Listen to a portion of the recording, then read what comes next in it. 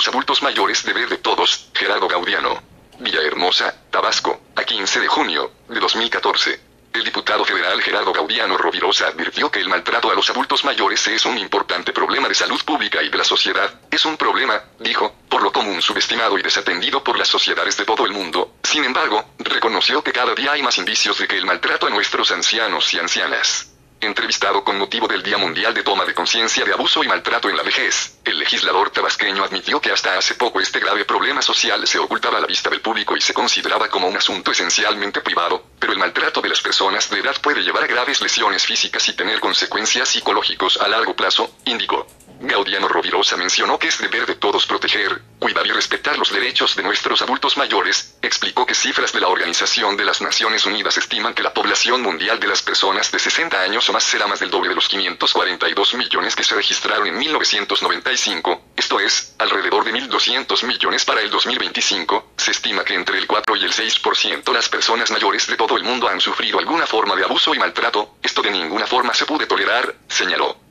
Además, subrayó que el maltrato de las personas mayores es un problema social mundial que afecta la salud y los derechos humanos de millones de personas mayores en todo el mundo y es un problema que merece la atención de la comunidad internacional. Por eso es importante, destacó, seguir haciendo conciencia para respetar a nuestros adultos mayores, oponiéndonos a los abusos y los sufrimientos infligidos a cualquier persona de nuestras generaciones mayores.